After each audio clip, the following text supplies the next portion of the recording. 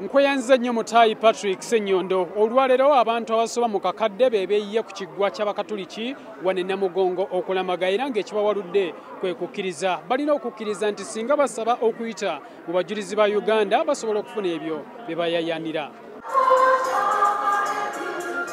Lilia chen atemera mu gy'obukulu ataano mwena era mutuuze ku kyalo jumadi west mu tawuni kansi y'epakwaci mu ssaza ly'e nebbi eno akyeni gye yava nga 15 omwezi oguwedde niyesa mu ddene n'atambula ne banna abalala abasoba mu bitaano. Olugendo lwa kilomita 42 okutuuka wane namugongo okulamaga.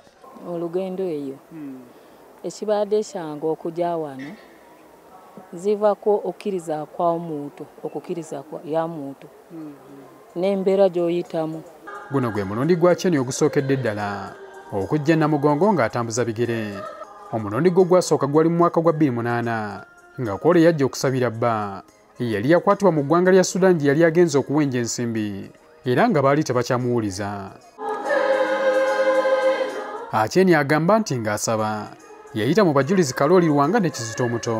Ne tujja wano n'omutambani wange.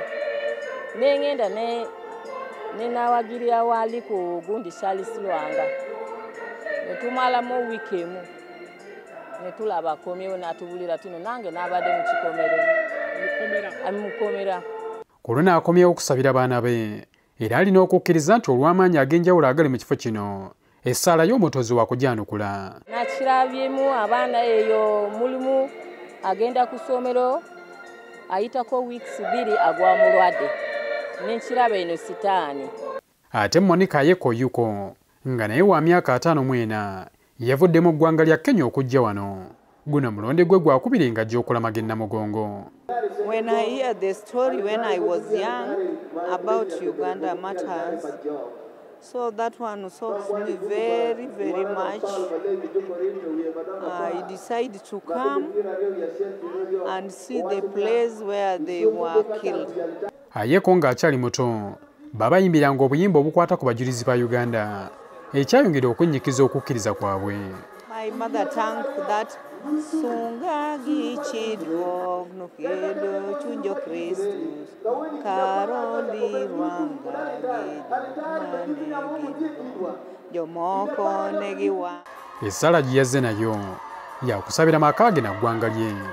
I come to pray for my family and for my country and for Uganda matters. ate joseph baker yavudde mu ggwanga lya netherlands okujja wano okulamaga The martyrs of Uganda have a special place in my life because I'm a missionary of Africa. beeka yali wa myaka 19 ng'abajulizi ba uganda balangirirwa mu lubu lw'abatuukirivu mu mwaka gwa 1964 era ono abadde yeesunga lwalituuka mu kifo we battirwa okutuusa olwaleero The example of the martyrs of being faithful in whatever circumstances is for me a very important item. beeka yazze ne munne rin van brookhoven okuva mu ggwanga lya netherlands era bano bagamba nti okukkiriza kwabwe kwazziddwa buggya okuva lwe balinnye ebigere wano It's being renewed. It has not been, it is being renewed now. For me, it, it brings more and more to the fore the faith that has been implanted by our forefathers. I think this pilgrimage, pilgrimage will do for many years for my own health, spiritual health. Okusinziira ku bayibuli mu kitabo ky'abaebulaniya essula 11 noonyiriri olusooka.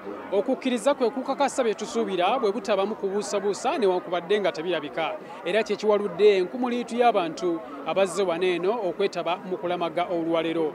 Nze habat kamoga kati kankukwasa munnange raymond tamale akubuulire emirimu n'ebyenfuna nga bwe bitambudde wano e namugongo